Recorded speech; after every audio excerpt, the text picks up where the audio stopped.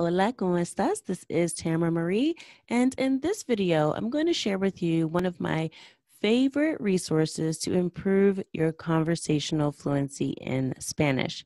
So, if you listen to episode 29 of the Learn Spanish con Salsa podcast, then you'll know that I interviewed Shay Spence, who is the founder of Español en Tres Mil, or Spanish in 3000.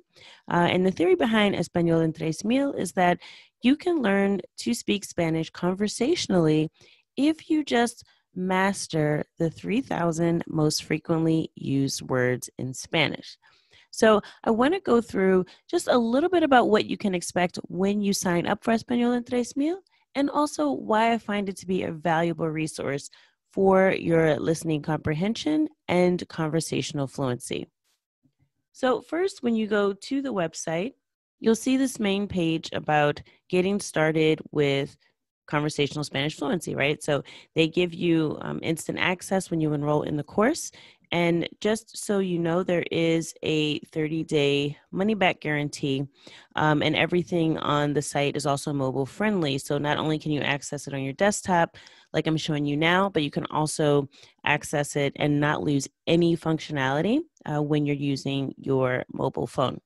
The basis of Español en Tres Mil is that you listen to real life native conversation. So, this is actually native Spanish speakers talking to each other, which, as you know, I always recommend that if you're going to reach conversational fluency and improve your listening comprehension, you need to use authentic content, which is content of native Spanish speakers.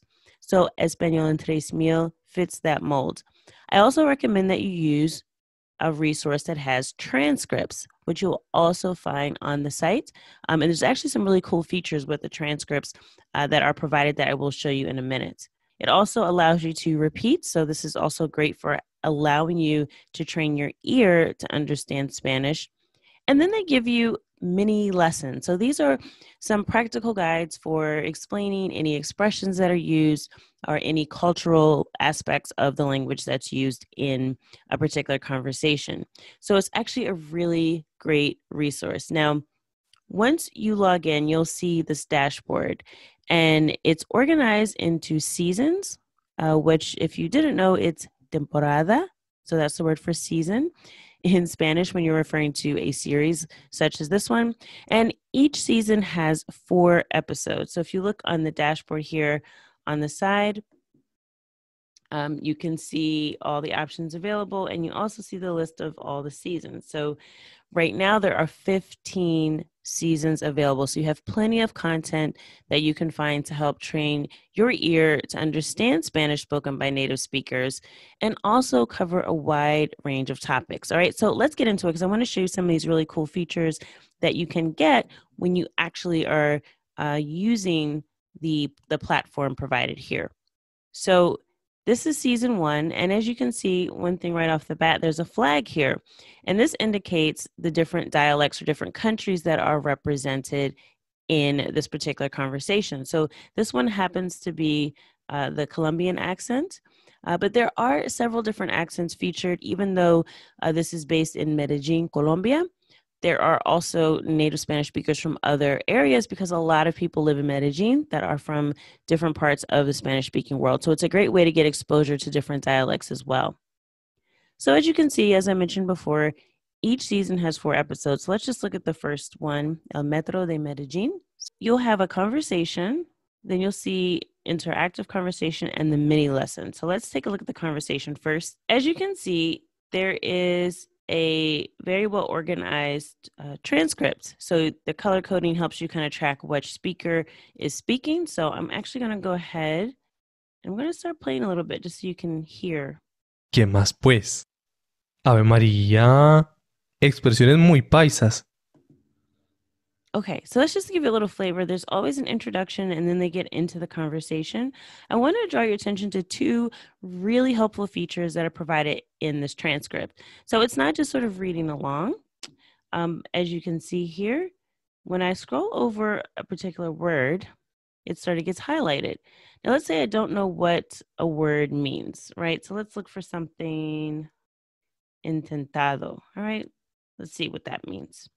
So I can actually click on it And right within the platform, it brings up the definition. So I can actually see here the definition and the translation into English. So that's a really cool feature so that if you get stuck, you don't have to leave the site. You can come right into here and just click on the word and the definition will come up for you. Another uh, option that you have, which I think is really, really helpful, as you know, native speakers can tend to talk pretty fast. And I always recommend if you have trouble understanding the normal conversational pace of speech, that you should listen to the audio slowed down and then listen again at regular speed. So there's a really easy way to do this on the interface.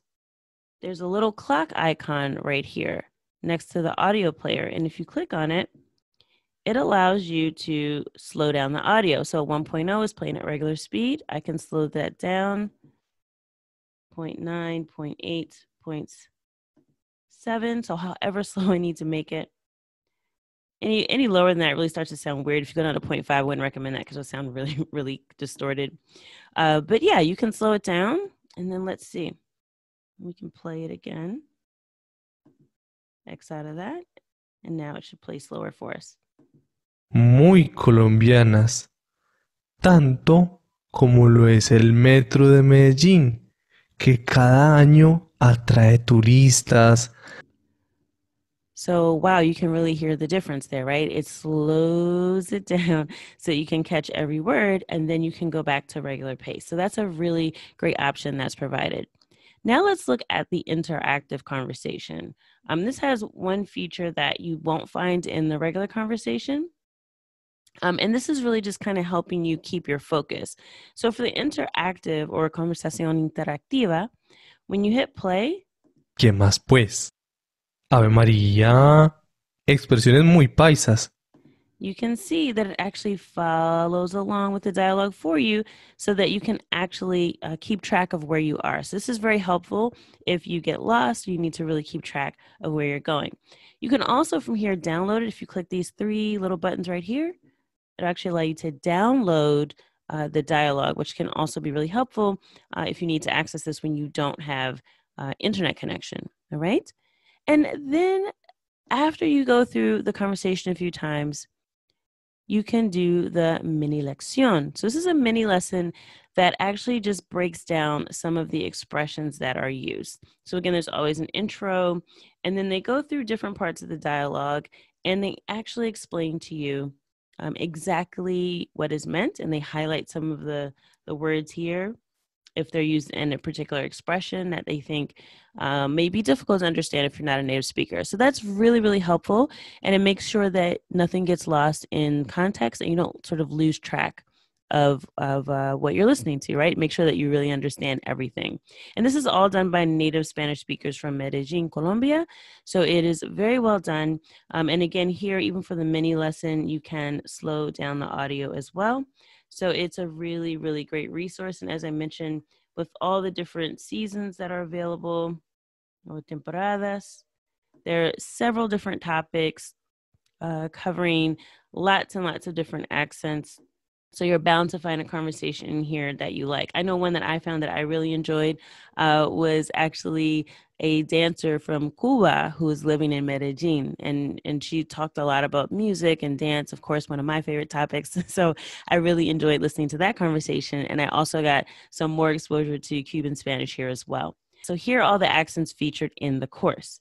So Colombia, Mexico, Venezuela, Argentina, Peru, Bolivia, Chile, Cuba, Ecuador, and España. Okay, so you get all of those um, exposure to all those accents, although, again, the teachers uh, that are speaking are primarily from Medellin. So if you have a particular interest in that region, this is definitely, definitely a great resource for you to get used to that particular accent. But again, you'll also get exposure to all these other accents as well. All right. And again, as it says up here, you get a 30 day money back guarantee. Uh, so I definitely recommend that you check this out. Uh, this is a really, really great resource um, that you will start to see results. And again, if you're not listening to native Spanish speakers, uh, having just normal day to day conversations, it's really, really hard to build your conversational fluency and to be able to understand those conversations. Um, there are a variety of different speakers here. They're all from uh, different areas, they all tell different stories, and they're just having casual conversations in the streets of Medellin.